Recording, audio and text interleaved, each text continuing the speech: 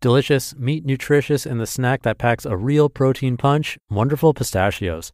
Each one ounce serving has six grams of protein, giving you over 10% of your daily value and making Wonderful Pistachios one of the highest protein nuts out there. But perhaps more than that, I love all of the flavors they have. Their sea salt and vinegar ones are my favorite when I'm craving that flavor, but still want to keep it healthy. But that's just the tip of the iceberg. Wonderful pistachios come in a variety of flavors like chili roasted, honey roasted, smoky barbecue, and jalapeno lime, to name a few. Perfect for enjoying with family or friends and taking them with you on the go. Whether you're a pistachio purist who loves cracking open every nut, or you prefer the convenience of no shells pistachios, Wonderful Pistachios has got you covered.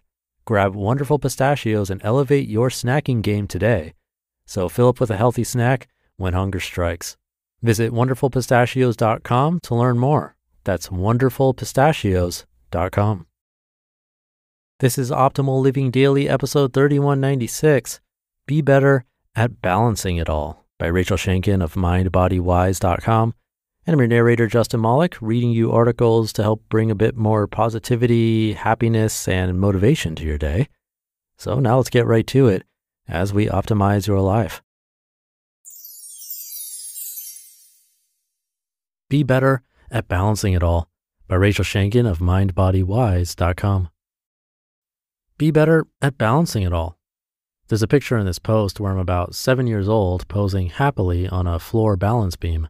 Only one month before, I had been selected as the newest member of the gymnastics team. In this picture, I see a little girl beaming with pride and joy. I absolutely and completely loved the sport of gymnastics. Gymnastics consumed my every minute. When I wasn't in the gym, I was daydreaming about it. And for many of my childhood years, cartwheeling was my primary mode of transportation. It was fun, fast, and easy. Ah, the days of youth. Aside from gymnastics, although not much mattered to me besides gymnastics, I loved hopscotch and jacks and ping pong. As the years progressed, I became more serious about the sport. I was training every night of the week after school and competing every weekend. My coaches were tough, and the pressure to push the boundaries of my abilities and my fears was constant. My life, thoughts, feelings, and body were consumed by rigid rules and expectations of precision and perfection. What I realized much later in life through a lot of personal work and a yoga therapy session that integrated this realization for me was that the strict rules of the balance beam had been internalized in my psychology and became the metaphor for how I lived my life, where there was a right way and a wrong way, where timing was vital, and where every nuanced movement meant huge success or major failure. My thoughts, decisions, and choices in life left little room for freedom, creativity, or simply the idea that there are many right ways to be. Life felt, falsely, safer and clearer, moving along a self imposed narrow mental path, much like a four inch balance beam with little room for error. However, the freedom and fun of sloppy, fast cartwheels through open grassy fields and hotel lobbies was long gone. Gone were the days of hopscotch using random objects or rocks found on the side of the street as pieces and lopsided boards made with broken chalk. Although I looked graceful on the outside, I was robotic and rigid on the inside. Not much balance there, and the illusion of safety was long gone too. It's important to note the gifts of the balance beam part of me have served me well. I can be organized, structured, reliable, and highly productive. They have also worked against me when needing to allow for possibility and mental flexibility, which is possibly one of the most vital keys to living a happy life. So, when the occasion calls for it, I've had to learn how to access the hopscotch playing, messy cartwheeling part of myself and let the structured balance beam part take a rest. Sometimes I consciously access both of these parts, and when they work together in tandem, the balance of the two creates amazing things, including a nice big exhale in my body and mind. Being able to consciously choose which part to access has taken a lot of practice. It is required that I tap into all of myself and do my inner work.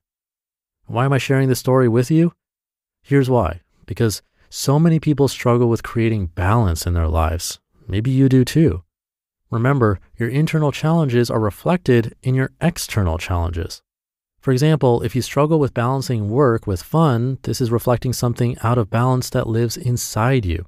If you struggle like I did and sometimes still do With the balance between structure and responsibility versus spontaneity and creativity, this originates from inside you too.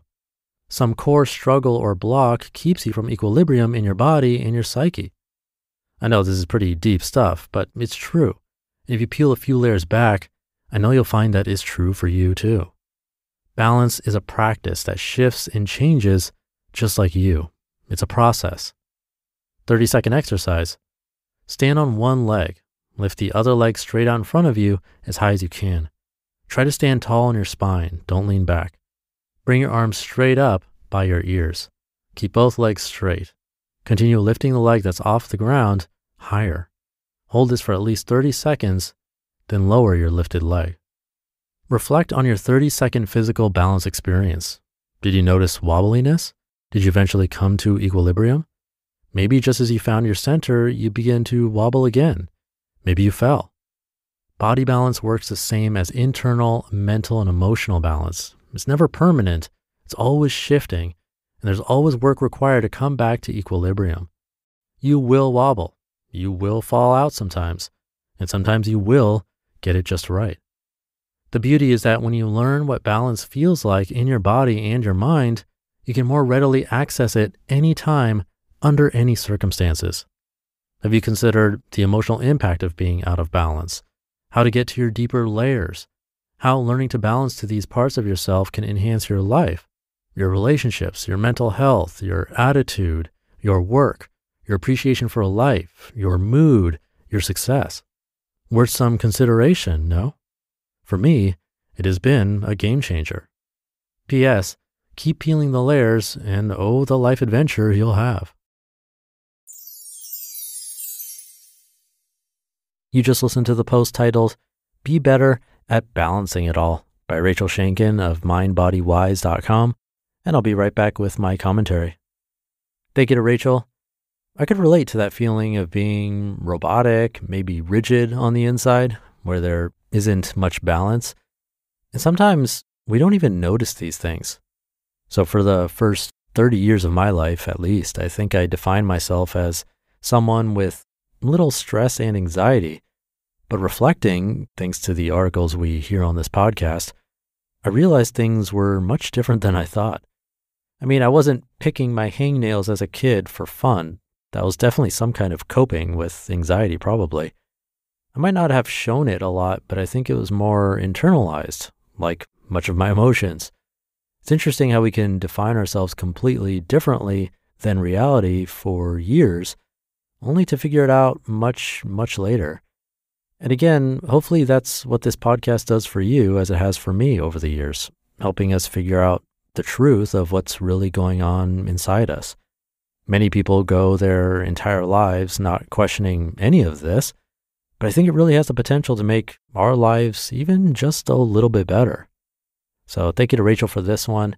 And thank you for being here and thinking about this kind of stuff along with me. I couldn't do it without you coming back to listen. Have a great rest of your day, and I'll see you tomorrow where your optimal life awaits.